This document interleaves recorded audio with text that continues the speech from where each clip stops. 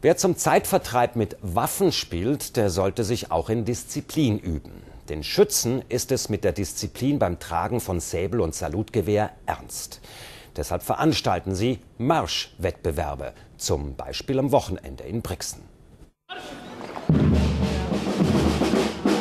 Einst lernten die Schützen marschieren, um auch im Schlachtengetümmel dem natürlichen Trieb zur Flucht nicht nachzugeben. Dann wurden sie entwaffnet und durch effizientere Mordmaschinen ersetzt. Und schließlich, nach Jahrzehnten intensiver Verhandlungen, durften sie ihren Säbel und das Salutgewehr wieder anlegen. Nicht um Krieg zu führen, sondern zur Wahrung der Kultur. Im Jahr 2000 durften sie nach über 80 Jahren zum ersten Mal wieder schießen.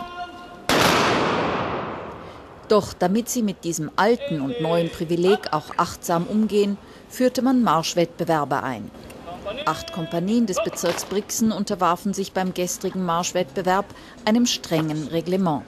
Seit der Schützenbund Gewehre und Säbel tragt, dann muss man auf die Disziplin aufpassen und auf die Sicherheit. Und bewertet wird in erster Linie die Aufstellung, die Trachten, der Abmarsch, nachher die ganzen Kommandos, die Meldungen, die Salbe und dann auch natürlich noch der Salbe auch die Sicherheit wird durchgegangen bei den Gewehren noch mal durchgeschaut, ob in Gewehren auch kein Schuss mehr drin ist, dass der Lauf ja frei ist. Und das ist eben hinter Um und Auf. Und durch das Auftreten, was wir eben durch die Gewehre und durch das Sabel erzielt haben, äh, wird das Erscheinungsbild für die Schützen ganz anders. Am besten marschierte gestern die Schützenkompanie Rodeneck.